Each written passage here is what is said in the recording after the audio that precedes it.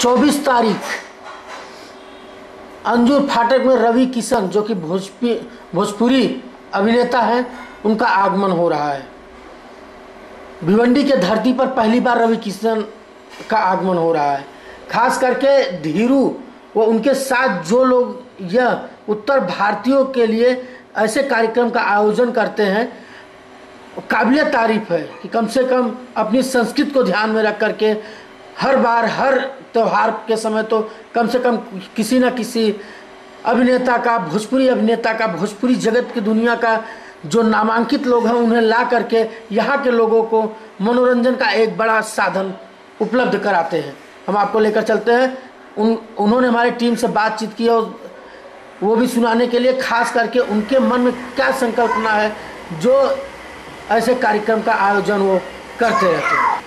आपने अब तक कितने ऐसे शो किए हैं जो पॉपुलर हुआ हो। लोगों ने उसको पसंद किया। सबसे पहला मेरा शो हुआ खेसारी लाल यादव का। वो शो काफ़ी हिट रहा अच्छा रहा। उसके बाद रानी चटर्जी का शो हमने कराया। और उसके बाद जो सबसे बड़ा बिग शो रहा मेरी लाइफ का, वो पवन सिंह का शो रहा।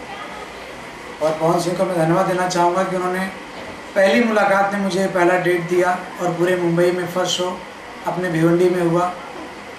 और विशेष सहयोग मैं मानूँगा कि हमारे नीले चौधरी साहब जी का रहा, जो हर बार उन्होंने हमेशा हम लोग को हौसला दिया और उत्तर भारतीयों के साथ रहते हैं तो उनका विशेष आभार मैं मानूँगा।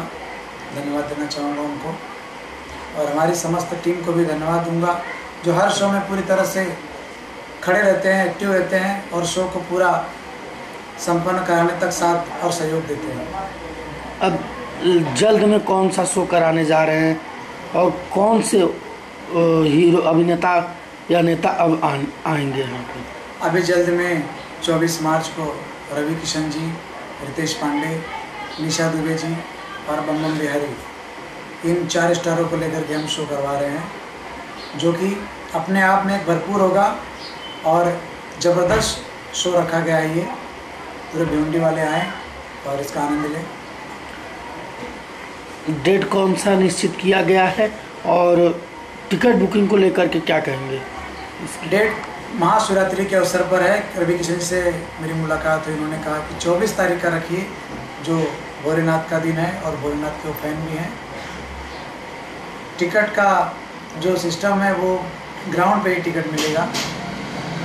इसलिए कि गलती से टिकट प्रिंट आउट मार्केट में ना हो पाए अच्छा ये सब जो पूरा का पूरा आप अरेंजमेंट करते हैं ऐसे कार्यक्रम करते हैं इसके पीछे आपका मुख्य उद्देश्य क्या होता है? मेरा मुख्य उद्देश्य यही है कि हमारे उत्तर भारतीय की संस्कृति सभ्यता और जो इंटरटेनमेंट है आज हमारे उत्तर भारतीय लोग का जो एक गाँवटी जो परंपरा चला है जो स्टेज का जो हमारे गाँव में नाच प्रोग्राम, डांस, ये सब होते हैं। तो हम लोग का ये पुराना ये रिवाज